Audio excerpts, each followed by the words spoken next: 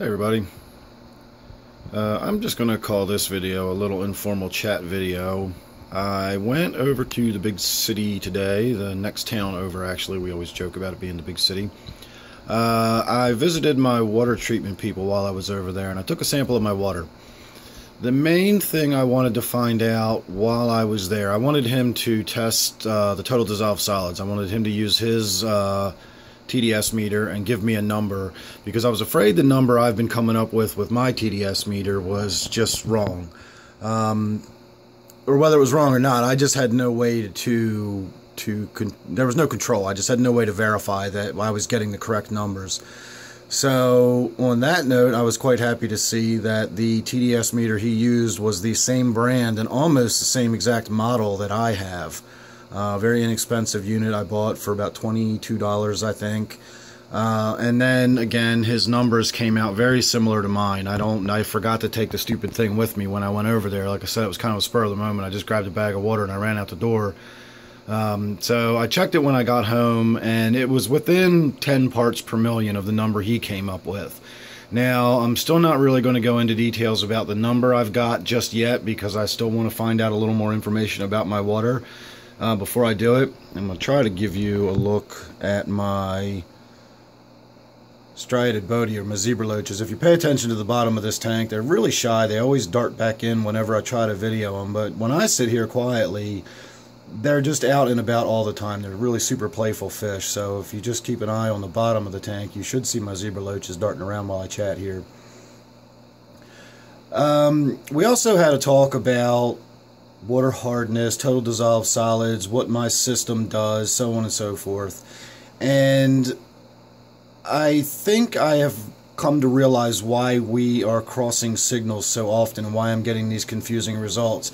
We are looking at numbers from two different industries. He's looking at it from a water treatment uh, industry measurement scale, and I'm looking at it from an aquarist's hobby point of view scale. So he talks about water hardness in terms of grains per gallon. And I talk about water hardness in terms of degrees of general hardness. Now, this does not translate one for one. One degree of hardness is not the same as one grain per gallon.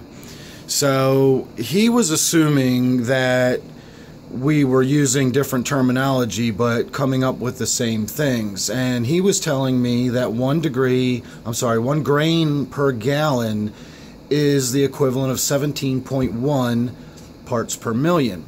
Now, when we're talking about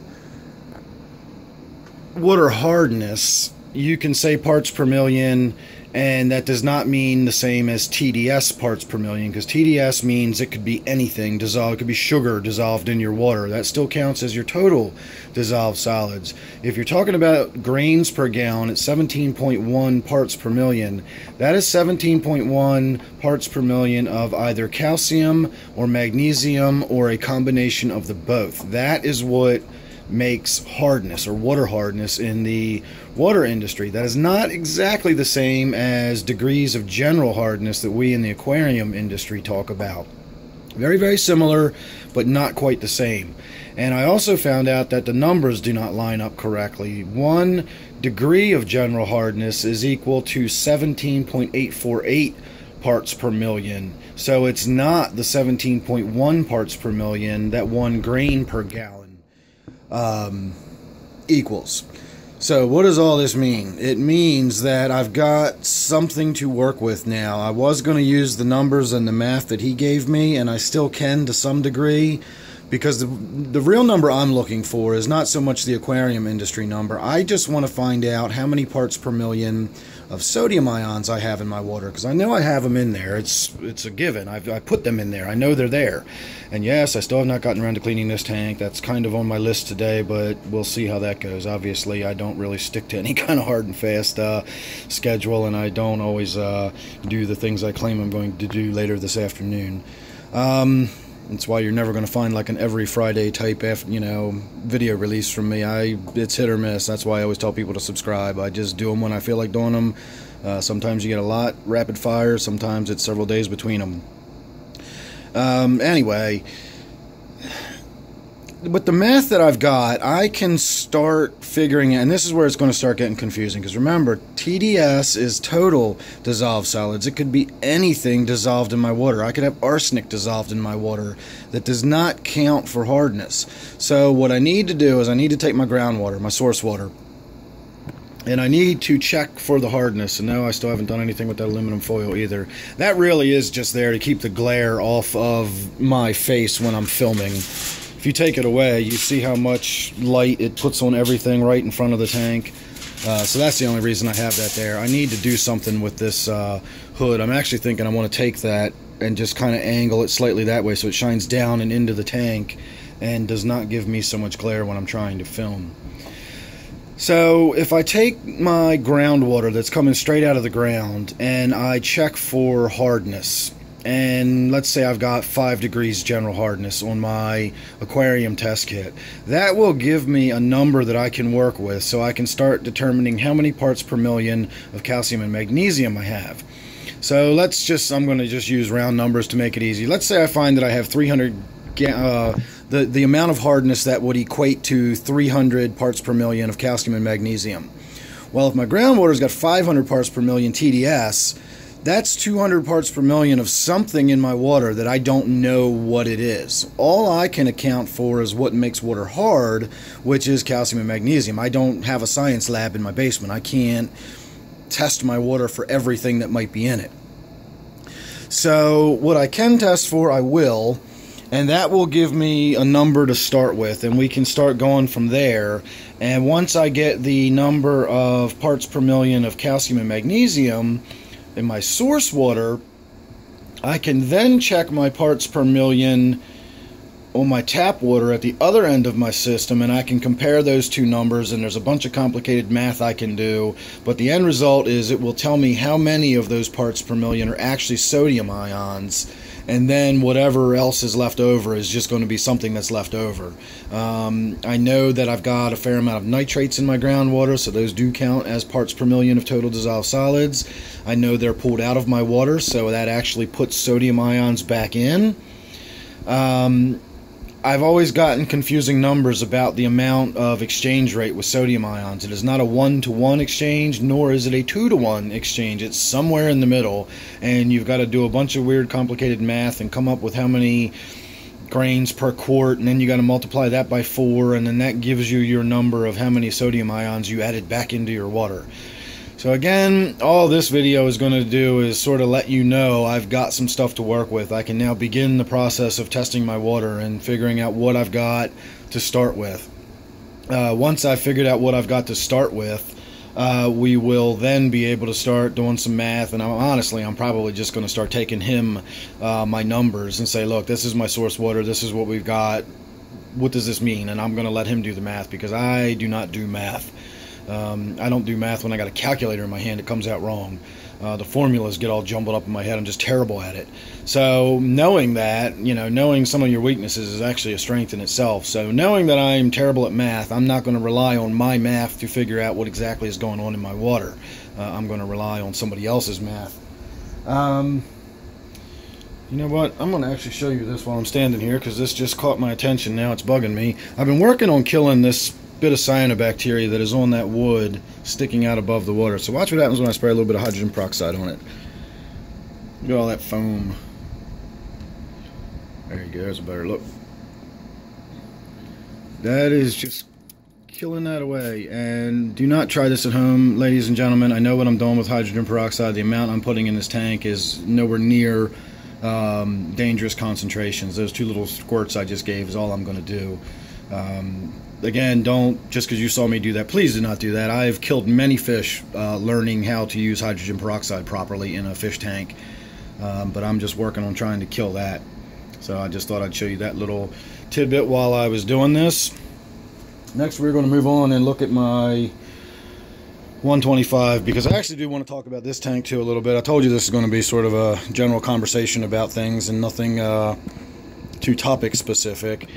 But my 125 here now is getting into being where it's going to need its first real water change. And I don't mean the water changes like I was doing before that were panic water changes and, and you know, keeping the uh, nitrite levels down. This is going to need its first water change because the waters are starting to get tannin stained and etc etc.